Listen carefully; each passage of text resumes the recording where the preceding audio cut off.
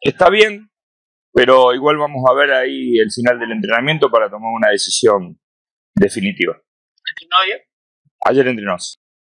Bueno, obviamente seremos muy cuidadosos porque sabemos que tenemos una cantidad de partidos importante en corto plazo, pero nuestra idea no es lesionar ni a Leo ni a ningún otro jugador, así que iremos hablando en el día a día y vamos viendo cómo se sienten ellos para saber este, qué jugador está disponible en cada uno de los partidos. ¿Tata fue cansancio o lesión lo que tiene? No, no tiene ninguna lesión.